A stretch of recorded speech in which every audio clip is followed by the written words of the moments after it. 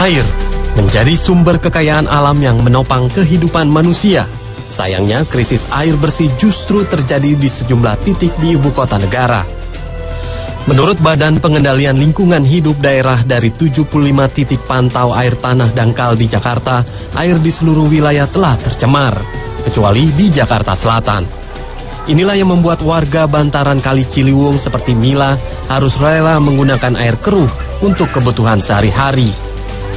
Hampir 40 tahun tinggal di Kampung Pulo, Jakarta Timur, Mila yang sehari-hari bekerja sebagai ibu rumah tangga mengaku menggunakan air kali untuk keperluan MCK.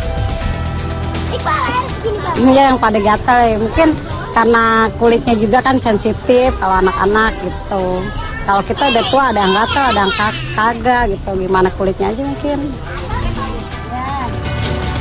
Hanya itu, air yang berwarna kecoklatan dan berbau ini juga digunakan Mila untuk memasak dan kebutuhan lainnya. Maklum saja, membeli air bersih harganya cukup mahal. Satu tangki air harus dibeli dengan harga Rp8.000. Ya, dibilang keberatan, kita butuh, dibilang kagak.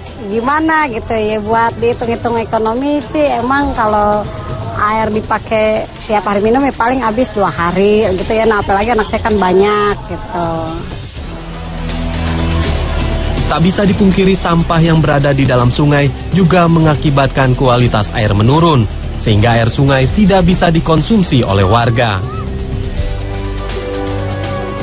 Kesulitan mendapatkan air bersih yang murah dan layak pakai membuat warga Ciliwung tak punya pilihan lain untuk menggunakan air kali sebagai kebutuhan sehari-hari.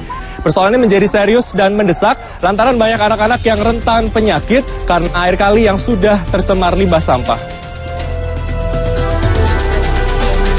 Lebih dari 7.000 ton sampah per hari yang dibuang ke Sungai Ciliwung.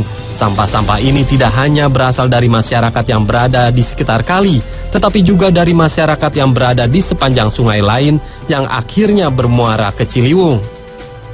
Masalah sampah yang akhirnya menurunkan kualitas air bersih membuat Wakil Gubernur DKI Jakarta memutar otak, termasuk menggandeng sejumlah ahli dari Jerman.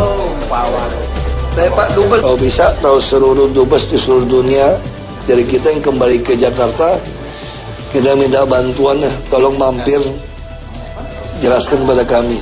Jadi kami bisa dapat belajar langsung mengelola kota Jakarta dengan pengalaman seluruh dunia nanti.